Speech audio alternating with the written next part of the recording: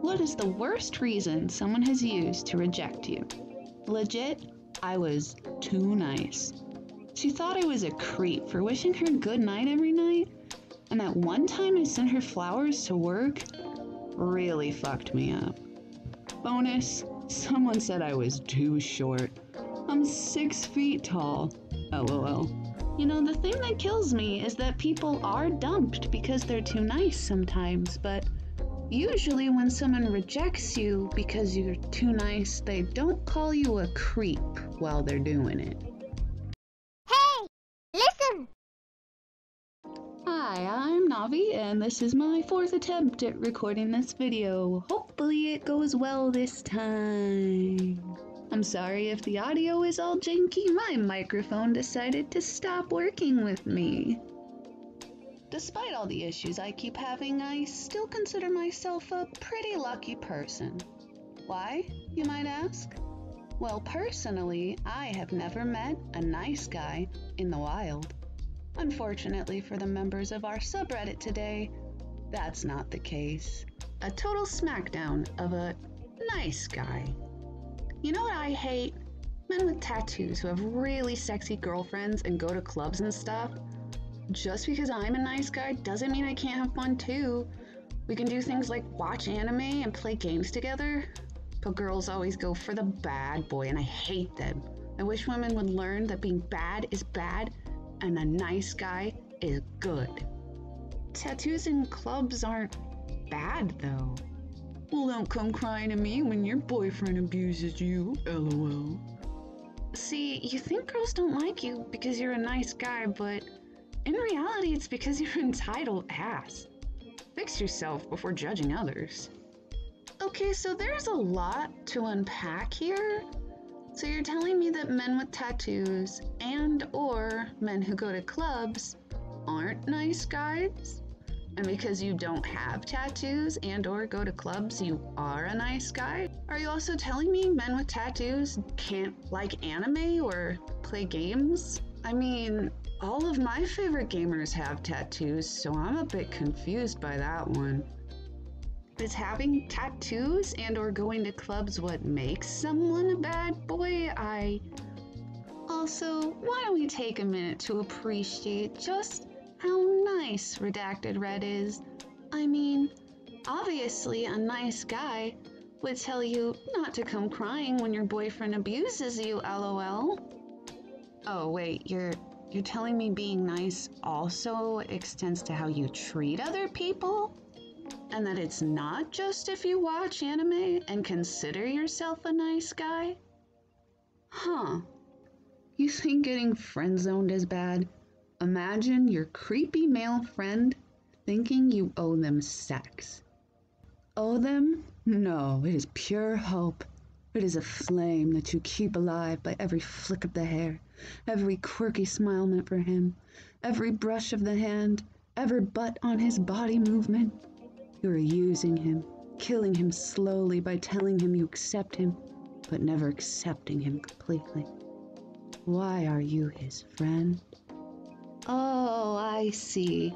This guy thinks that by accepting him completely, that means he can get his willy wet. Catfishing girls on Tinder?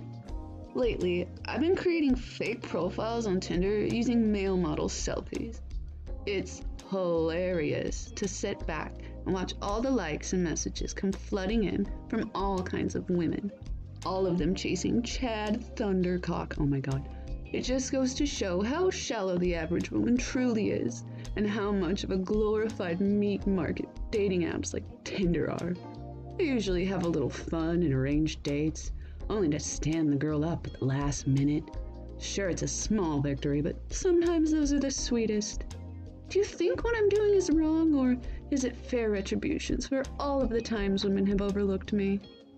So, what do you guys think? Is this guy looking for validation, or is he here to just start an argument? I really can't tell at this point. Either way, it's really pathetic that you feel like you're stronger for standing up dates on Tinder. But hey, I guess when you're as miserable and lonely as a nice guy is, you gotta get your wins in somewhere. This was posted on a fact about taste buds. Girls have a better sense of taste than boys. Uh, no, they don't. I'm a nice lad and always friend zoned. The girl I would love to make my girlfriend always goes for the chump who'll break her heart, make her cry, and feel worthless. Story of my bloody life. This is one of those times where I'm just gonna choose to believe that it's satire and move on with my life. It's time for our petter mission, where I take the time to appreciate which of our pets are currently with me. Today we have Loki Bean sleeping in the chair that usually Nim is in. Nim himself is sleeping on the floor beside me. And then we have Bubblegum fast asleep in my lap. Hi, I'm Gray Redacted's friend. I'm a bit worried about dating a single mother, but I have seen your pictures and you are incredible. Amazing eyes, your, your figure. Wow. Hi, wow, thanks for the compliment, I guess. A bit worried about dating a guy who's a bit worried about me being a single mom. Not a great opener, to be honest. I'll pass. Good luck to you. Well, just like that? Yeah, I'm not hard up for company. Take care. Oh, okay. Sure, guys chase you now, sexy thing. Just wait till you're 35 and no one wants you. Oh, sweetie. I'm 35 right now. So you have every right to be worried about dating someone with children, but that's not how you start the conversation. You're essentially saying, You're hot, so I can deal with the fact that you have other human beings in your life. Because children are human beings, my dude. Woman, 24, lured on Tinder date by cold couple who proceeded to murder her.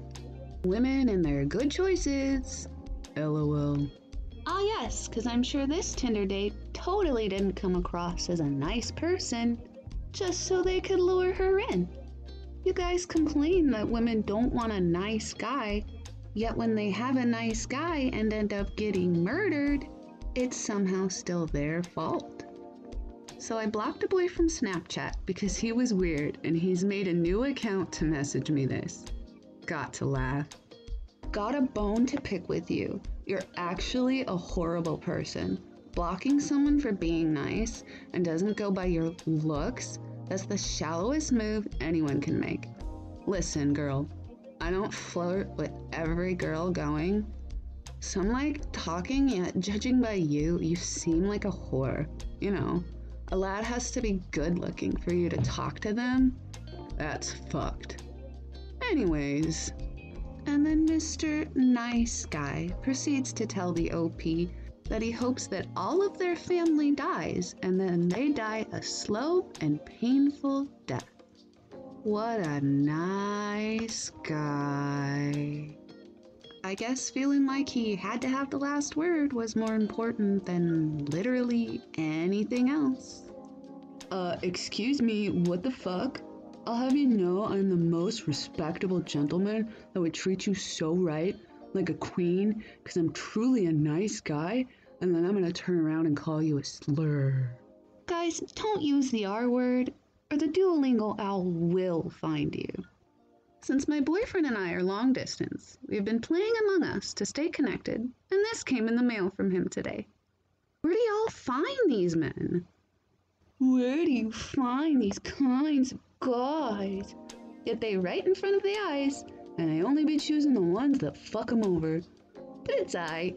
We not enough type of guys y'all seem to think are worst are getting successful. I think these nice guys think that being successful means having a lot of money.